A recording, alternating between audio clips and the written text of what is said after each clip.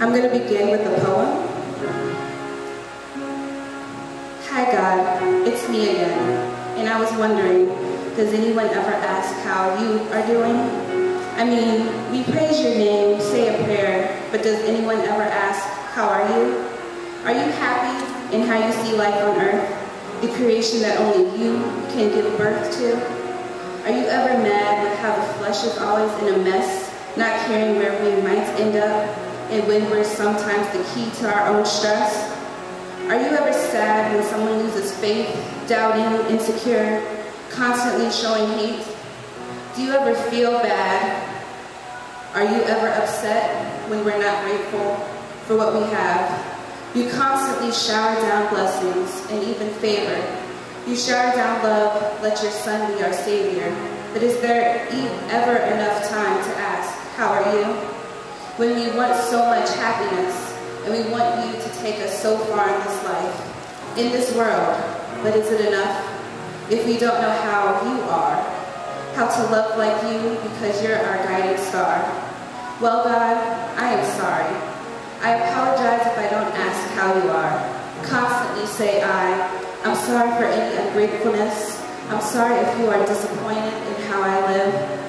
I'm sorry for not showing love and sharing the favor that you give. Saying thank you will never be enough, and neither will saying I'm sorry. I can praise you with a thousand tongues, but it will never be enough time to talk to you. Throughout my living days, I'm sorry I'm always talking and not listening to what you have to say. I will strive to be better, to have open ears, heart, and mind. And I will make more time to ask how are you doing?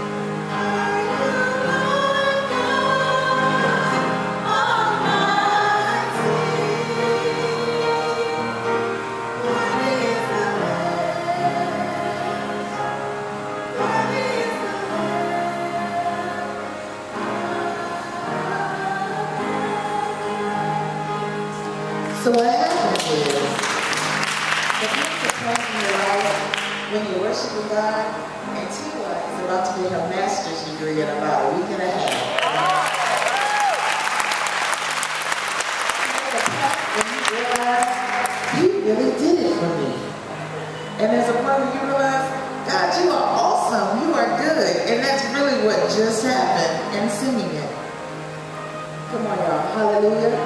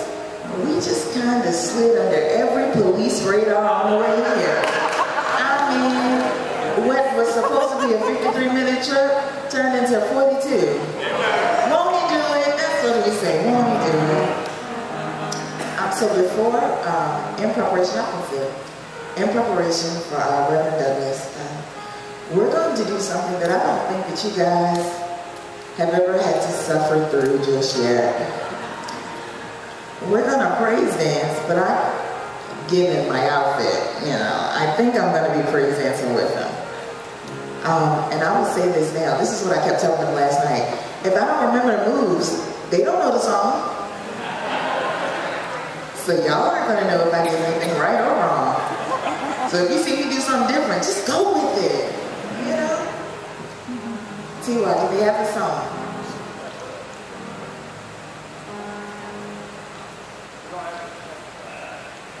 Okay, you got to pull up your phone, um, Taylor, please. This is what happens on Sunday sometimes. Sometimes the best laid plans of mice and men. My mother used to say that when I was younger, and I used to look at her and go, what does mice have anything to do with anything? Okay, that's fine. Um, while I have the mic, and I tell them this on Sunday, you guys should never give me the mic, because that means anything is liable to come out of my mouth. And that means that I can do all the talking and nobody else can interrupt me. Um, this semester has been a whirlwind for us. I think Reverend Douglas and I only really get to see and hug each other on Sundays. Like we see each other in passing on Mondays and Wednesdays, but the life, uh, the college life has kind of attached itself to us. The last, this past, these past two semesters actually, but we've had some things planned and some programs in place. And then we just got to a place where we said, you know what, we can't do it all. So we have given authority to the students. And um, I know that Pastor Michelle, I know you were like, who was this student calling me? Yeah, I just gave him my phone. It was just like, look, this is the date, this is what we need to do. I need you to take care of it because I got bills to pay. And that works with them. Um, but even with our, our rehearsals, um, our rehearsals are Monday and Wednesday at 7. And I have to combine, because I've tried making it on another day, but it doesn't always work with them. And I want them to fully have the college experience. I don't want to obligate them to church because I want it to be a choice. Does that make sense? Which that's how it is in our life. God wants him, God wants us to choose him. So I want to make the time available and accessible to them so that they can freely choose and don't feel like, oh, I have to do this grudgingly or of necessity. Y'all have heard that before. For God loveth the cheerful giver. Just kind of weave some scripture in there. Um, so our rehearsals are Avodah and the musicians around 7. Somehow, sometime between 8 o'clock, 8.45 and 9 o'clock maybe we have Bible study, and we have an intention of only having a 15 minute Bible study.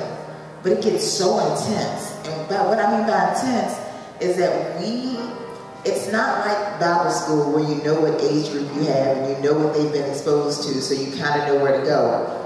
With campus ministries, everybody is in a different place. So there has to be a lot of avenues for the Bible study to travel because I want to make sure that everyone leaves learning something. I have people who've never been to church before. I have people who've never considered reading the Bible. I have people who've been to church their entire lives, but gone because they were made to go. And I have people who go to church because they really want to be there. I have people that just came for the Bible study, but know in order for them to get through practice, I won't let them get up. I have I have students from uh, like across the gambit in terms of experience level. So we try to make it about 15 minutes. And I have to apologize to Chara, and there are about maybe nine of them, because sometimes their rehearsals are slighted. But if it's slighted for Bible study, I'm not upset. And neither are they. So today, the song that we will be rendering is called Incredible God, Incredible Praise. Um, sometimes, and if I could just make this, give this an analogy, you know when you go to a restaurant, you kind of gauge the waitress. In my head, I already have a number of how much I've allotted for, so I know just how much I can spend of my husband's money. Uh, you know, I have, I know that if I'm gonna order this, this, this, and this, I could probably give her $10. So I always tell the waitress, you're gonna get a certain amount. Now I need you to keep up with that amount. And you know, if my cup is looking a little empty, and you know, if, if they seem to be attentive elsewhere, if they seem to have a chip on their shoulder, I never, I never take away from the tip if the food isn't right because they weren't in the kitchen, you know. But then at the end, sometimes I go, wow, she did a great job. I really want to bless her with more. and I can wait till he walks away from the table and I'll put a couple more zeros on there, okay? But your relationship with God shouldn't be like that. We shouldn't gauge just how much he does in our life and then say, this is how much time I'm going to devote to him. Because I didn't really hit the lottery this week. This is how much time I'm going, this is how much praise I'm going to give him. Or this is what I'm going to devote, devote to prayer. Or this is what I'm going to devote to worship. Because eh, he was so-so. The idea is that if he's woke, he woke you up this morning, that's incredible praise enough. If he started you on your way, as my grandmother would say, or even the fact that you have wherewithal with limbs, or you woke up in your right mind, or there's still heat in your home, or air conditioning in your home, or your car still runs, or if you've still been given another day and another, another opportunity to repent and get it right, that's incredible praise God. So I hope this song renders to you in such a way that your measurement changes and how you qualify God changes. Because truly, there's no comparison.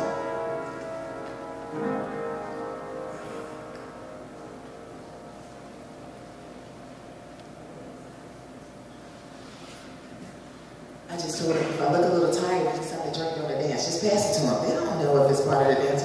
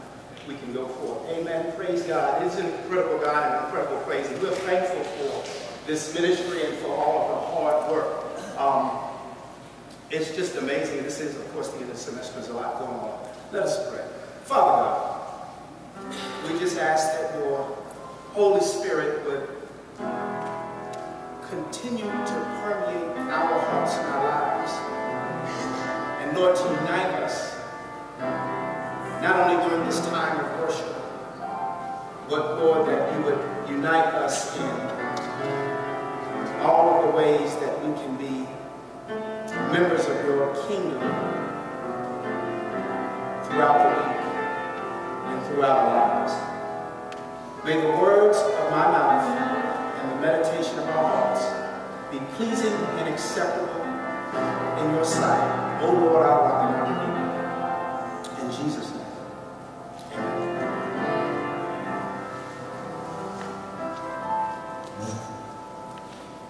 Let's hear a word of scripture from Acts, the eighth chapter, verses 26 through 40. And I will be reading from the New Living Translation.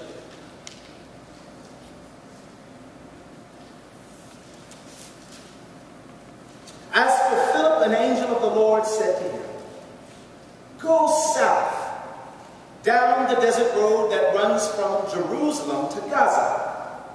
So he started out and he met the treasurer of Ethiopia, a eunuch of great authority, under the Candace, or the Candace, the queen of Ethiopia.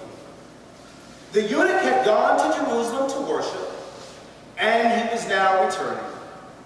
Seated in his carriage, he was reading aloud from the book of the prophet Isaiah. And the Holy Spirit said to Philip, Go and walk along beside the carriage. Philip ran over and heard the man reading from the prophet Isaiah. Philip asked, Do you understand what you're reading? And the man replied, Well, how can I unless someone instructs me? And he urged Philip to come up into the carriage and sit with him. The passage of scripture he had been reading was this. He was led like a sheep to the slaughter. And as a lamb is silent before the shearers, he did not open his mouth. He was humiliated and received no justice. Who can speak of his descendants? For his life was taken from the earth. And the eunuch asked Philip, Tell me, was the prophet talking about himself or someone else? So, beginning with this same scripture, Philip told him the good news about Jesus. As they rode along, they came to some water. And the eunuch said, Look, there's some water. Why can't I be baptized? He ordered the carriage to stop, and they went down into the water. And Philip baptized them. When they came up out of the water, the Spirit of the Lord snatched Philip away. The eunuch never saw him again, but went on his way rejoicing. Meanwhile, Philip found himself farther north at the town of Azotus. He preached the good news there and every town along the way until he came to Caesarea. This is the word of the Lord. It will serve us for a message entitled Peanut Butter and Jelly. Peanut butter and jelly. You know, there are some things in life that just seem to go together. There are some pairs that it would be almost impossible to speak of one without the other. Bonnie and Clyde, Howard and Garfunkel, Romeo and Juliet. And then there's some things that we are used to seeing on a daily basis that it's hard to think about without the other. Macaroni and cheese. ice and ice and water. Okay, here's one. Cake and ice cream. there we go, there we go, there we go. And of course, some of everybody's favorite. Everybody loves. I mean, everybody loves. What, what was that? Peanut butter. And, oh, I gotta keep digging in this can. Oh, and jelly. Peanut butter and jelly. Quick word, y'all know Welch's grape jelly was invented by Methodist? Yeah, yeah. Welch's grape juice was invented by a Methodist who wanted to have something in the community that did not have alcohol. So they took the juice and made it. That, that's, that's, a, that's, that's prevenient grace right there. That's grace. That's grace beyond grace. That's grace. That's grace. Peanut butter and jelly. But you know the interesting thing about peanut butter and jelly? If you were to try to make a peanut butter and jelly sandwich, interestingly enough, we can make it with the ingredients, but if I were really trying to make it, I need this, right? You gotta have bread, which is your foundational element. You have to have bread, the bread of, okay, okay, yeah. But what if we tried to make peanut butter and jelly without the process necessary for peanut butter and jelly to be made individually? What if we tried to make peanut butter and jelly with this?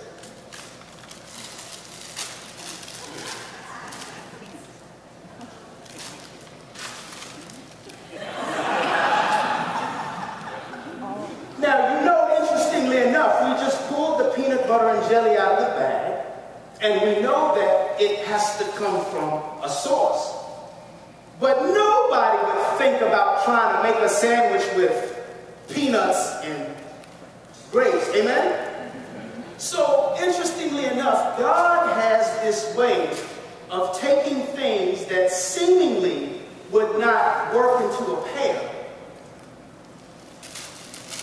and reforming it to the place where you can put it together and make it work to something that is nutritious and delicious and nourishing all to the grace of God. That's kind of what we have working in our text for this morning. We have Philip, the evangelist, not to be confused with Philip, the disciple, and we have an Ethiopian eunuch. Now, I would say Philip could be like the grapes. Philip was a man who was selected to be one of the first deacons of the church.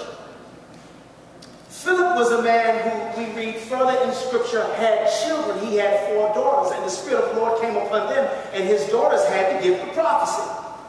Philip would have been a man who was exposed to the gospel of Jesus shortly after Acts had begun and was a member of those who were traditionally associated with open to the message of God through the Israelite and Jewish faith. That's Philip. Then you got this other character in the story, the Ethiopian eunuch. Now, there's some stark contrast between Philip and the Ethiopian eunuch. Number one, the eunuch was a eunuch. The Ethiopian eunuch, because of his eunuchsism, if you will, I'm going to try to put it as nicely as I can, wasn't able to have children. He was a eunuch. The Ethiopian eunuch was also from a different part of the world. His appearance would have been different. He was from a place in Africa. As a matter of fact, the Greek word for Ethiopia means something like faces that are If you would have looked at those two, even in first century Palestine, you would not have seen how they could have been together. The eunuch couldn't have had children, and therefore, in some circles, wouldn't have been allowed to come and worship fully. He could have been a proselytized, and, and he went to Jerusalem to worship, but there's something about his status as a eunuch that probably made him not fully inclusive into the life of the community. The eunuch was also, even though he was in that situation, as a treasurer of the queen of Ethiopia, he had a level of social power that perhaps Philip wouldn't have had. Philip had power in the church, so to speak, as a deacon, one of seven selected to serve. The Ethiopian eunuch had power in the treasury of the queen of Ethiopia. Interestingly enough, the text from Isaiah that the eunuch was reading talked about the fact that he what had no descendants. I believe the Ethiopian eunuch can identify with that because there would not have been a way for him to have children to have any descendants. So what does all of this have to do? God took two individuals, two men who were men in very distinct ways from two very distinct different walks of life, and by the power of the Holy Spirit, took two people who were different in all sorts of categorical ways, different ethnically, different socially, different in some of the other biological ways, different in how their families would have been structured. And by the power of this Holy Spirit, the one thing that connected them was their desire for God. The eunuch had gone to Jerusalem to worship. Philip had already been blessed by that power working within the early church. Those two men who would have otherwise not been compatible, by the power of the Holy Spirit, were able to come together on a particular period of time and a particular place in history, and through God's grace, put their differences aside and have worshiped together. The area where they found themselves, and you notice in the story that as things are working, Philip, it says that Philip baptized the eunuch. But you know who I really think was baptized in this story? Philip. Notice that when we look at the text, Philip doesn't initiate any of this interaction. He simply follows the move of the Holy Spirit. The angel of the Lord told him to go down to the, to the Gaza, Jerusalem and Gaza. And then the angel of the Lord or the Holy Spirit told him to go over and speak to the eunuch. I wonder if had it not been for God's grace moving Philip in the direction that he went, perhaps he would have just noticed this Ethiopian eunuch and would have never said anything the Holy Spirit, in my impression, since that time, has been moving and calling people who were different in all kinds of categorical ways throughout all of the walks of history. I think the Holy Spirit has always been speaking to people who are different to come together under the sound of my name and my gospel and worship together and be baptized with one another. The common denominator in this process is water, and if anybody knows how you go from this to what we talked about, you know how to make peanut butter from peanuts? First, take them out of the shell. There's some things about us when it comes to meeting folks who are different, and I'm talking about all kinds of difference. There are some things about us that sometimes will harden us so that it's difficult for us to work together.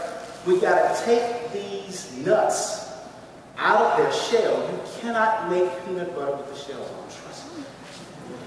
You have to crack the nut out of the shell, and then you've got to put it in a blender or a mixer or a food processor, and you've got to work that thing. You've got to work it. You've got to work it. You even can put, if you want to, just a hair bit of water and a little bit of olive oil or whatever kind of oil you like and just keep working it. And if you keep working it, you keep working it with the, with the water, you keep working it with the oil. Come on, somebody. We keep working baptism. The Lord anoints us. We keep working it. We keep working. We keep praying. We keep trusting God in the midst of things that look difficult. We keep allowing God to work through the hard shell that's on the outside of us. We keep allowing God to stretch us beyond what we think we can do. And you finally get peanut butter. Something like to add a little sugar to it, oh, a little honey to it. Sweeten it up a little bit. Amen? How do you make jelly? Similar process. You got to take the grapes off of their vine. You've got to separate the grapes because you know there are no vines in jelly. You have to take the grapes off of those things which it is traditionally attached to that makes it feel like if I'm not attached to what I'm normally attached to, I will not be able to, to survive or live. You have to take the nut out of the shell. You have to take the grapes off of the vine, put it in, yes, a blender or a food processor, and cut it on and continue to allow it to spin. And what it will do with that grape, it will continue to mash that grape down. It will continue to, to press upon it. It will continue to press upon it. It will reform it. It will refine it. It will reshape it until it is an absolutely new thing.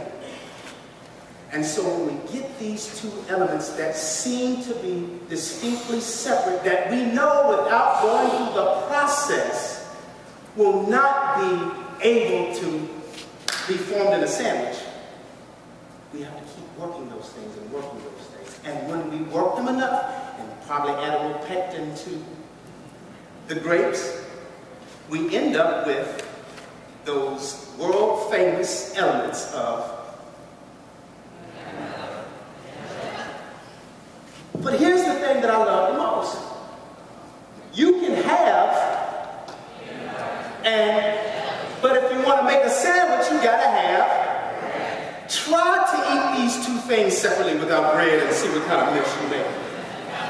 I've tried it and it does not, you can't. So here's the thing. We are told through our scriptures that Jesus is the bread You know what happens when you take people who are different in all kinds of ways, but have been influenced and fed with the bread of life? The bread of life is the foundation that we can come together and worship with all of our differences, with all of the things that we, even, even within homogenous groups, there are differences, right? We come together and we trust the bread of life to be the foundation for which we lay our respective gifts together for the purpose of making something that we can taste and see.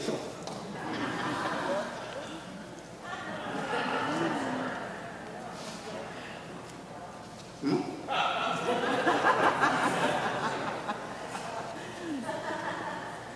we trust God in this process. And just like Philip and the Ethiopian eunuch, we know that God is always up to something that had it not been for the giving of ourselves and the process, and most importantly, the thing that brings us together, the bread of life, Jesus Christ, had it not been for the grace of God through Christ, we would still be lost we would still be separate. We would still not be in a position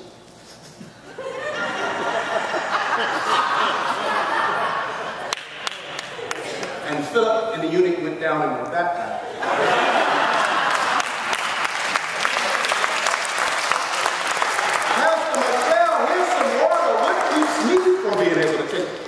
Whosoever takes a drink will never be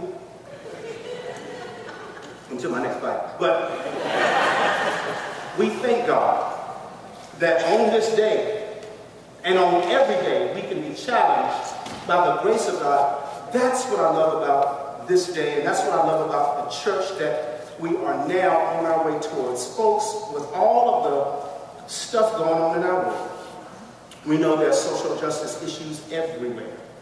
But with all of the stuff that goes on in our world, with all of the ways that we continuously hear about differences and, and bring differences up, what a blessing it is that we have a Lord and Savior, Jesus Christ, who brings us together for the purpose of worship, for the purpose of praise, and for the purpose of gifting to the world a combination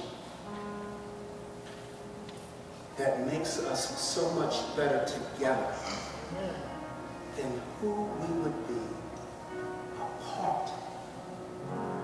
I give God grace and thanks and appreciation for the process that is going on by the power of the Holy Spirit through our lives. May we be peanut butter and jelly as our Lord continues to be bread for the world. Amen. You. Bless you.